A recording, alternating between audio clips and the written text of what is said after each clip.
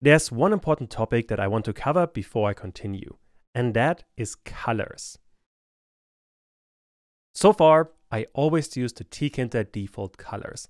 Those are, for example, red, white, blue, pink, orange, yellow. I think there are about 10 in total, which, well, is quite limiting. To create any color that you want, you would use what is called hexadecimal value system. It sounds complicated, but it really isn't that bad. Hexadecimal numbers go from 0 to F. That is going to sound confusing, but the numbers look like this. We go from 0 all the way to 9, and then we continue with A, B, C, D, E, and F, with 0 being the lowest number and F being the highest number. Basically, just imagine that these letters here are numbers in this kind of numbering system. The reason for that is that with this system, you can express a much greater range of values with fewer numbers. You see it quite often actually when you work with computers. To turn this into color, you have to combine three of these numbers, with the first value standing for red, the second one for green, and the final one for blue. This might look something like this we have 0, 8, and f. This means that we have 0 amount of red, because 0 is the lowest value, and in this case it means we have the absence of red.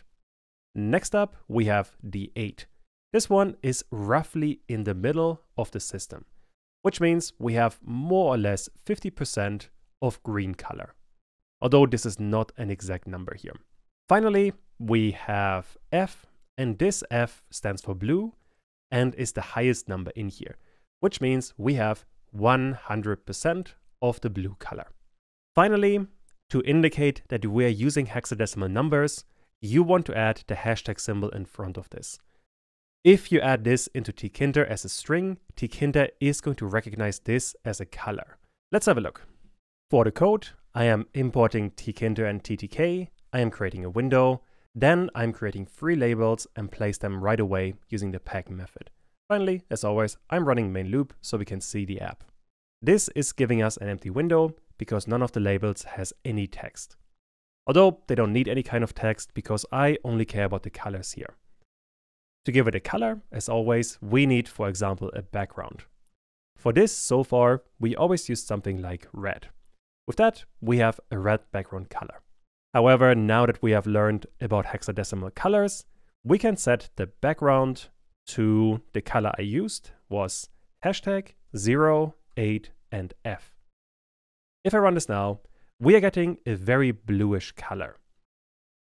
This should make sense because we have no amount of red and we have a huge amount of blue. That way, you would expect this color here to be quite blue. Although, since we do have a certain amount of green, that's the 8, this is not going to be a complete blue. I can actually demonstrate this if I copy all of this. I could, for example, change the 8 to an F and the F to a 0. What would we expect now for the color?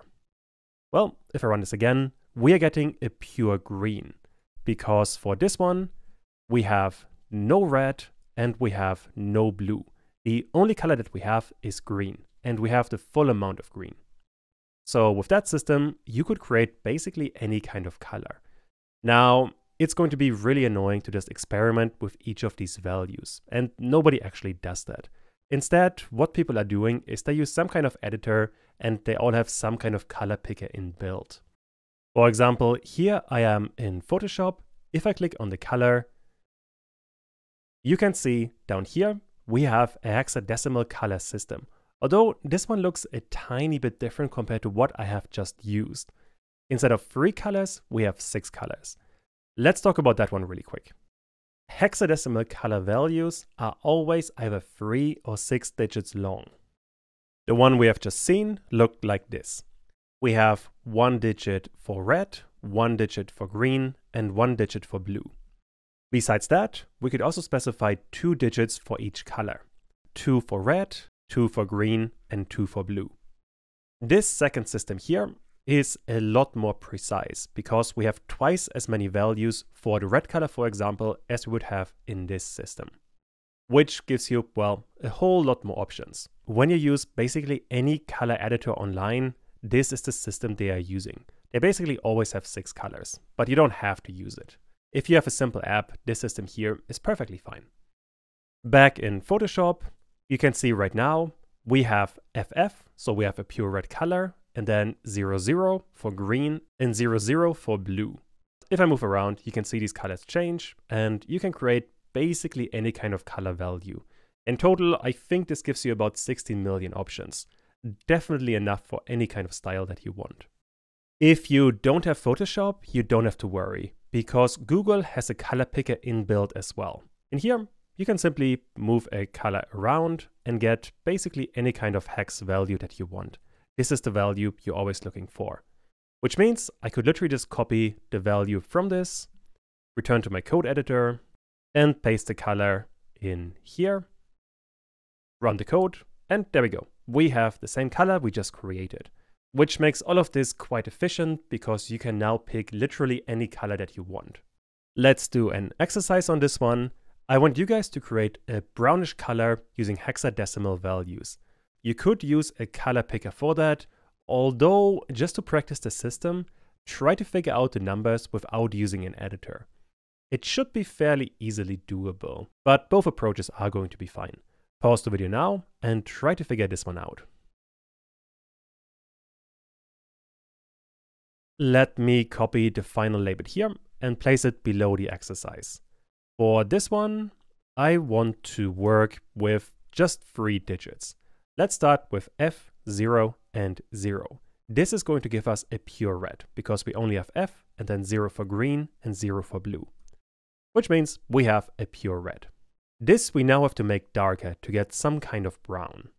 The best way of doing that is by increasing the amount of green. Instead of 0, let's go with an A.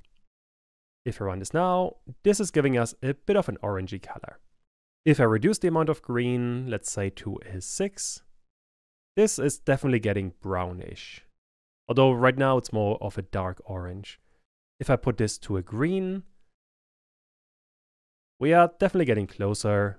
I guess if I increase this a tiny bit more to a 5, this gets close enough to at least a light brown. And if I reduce the amount of red from an F to, let's say, C, this is very much a brown color. Doing all of this inside of Google gives you much easier results. You can just click on a brownish color here, something like this, and you have a lot of different brown tones you could work with. Before I move on, there are two more things that I do want to cover, and that is white and black. Right now, we always had a color, but how can we get a white and a black color? Those two are really easily done. I can just copy this. Black is the absence of all colors, which means 0, 0, and 0. Running this gives us a black color, and a white color is the opposite. We have every color 100% available, which means F, F, and F. With that, we have white. If you have the same color value for every color, you always get some shade of gray. Let me duplicate this. If I change 0, 0, and 0 to 8, 8, 8, we're getting a grayish color. With that, we have covered all of the colors.